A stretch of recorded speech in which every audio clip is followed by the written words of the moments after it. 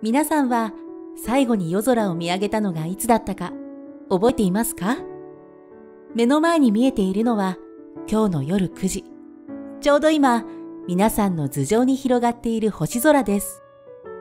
南の夜空に小さな姿を見せているのが南の冠座です。地面から皆さんの拳1個と半分くらいの低い場所に見えています。拳1個より一回り小さな大きさです。古くから描かれている星座の一つですが、残念ながらギリシア神話には南の冠にまつわる神話はないそうです。今日ご紹介した星座をはじめ、様々な星たちに出会える星空の世界。今日はどんな星たちと出会えるのでしょうかオンラインプラネタリウム、始まります。